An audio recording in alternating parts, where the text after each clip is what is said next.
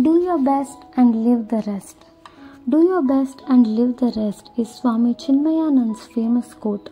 One cannot do everything, but everyone can do something. And knowing what we can do and what we cannot is wisdom.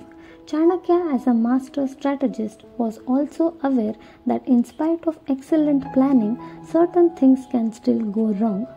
So, do we sit lazily believing that everything is predestined?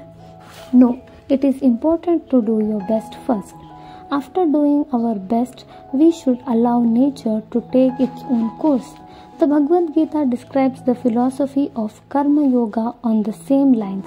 The Gita says, Kam karo, fal ki chinta mat karo. Do your part and do not worry about the result. You will get the results, but at its own pace. Chanakya was a karma yogi by practice. He worked with detachment and with a higher purpose. He knew that one has to make certain things happen while some others need to happen on their own.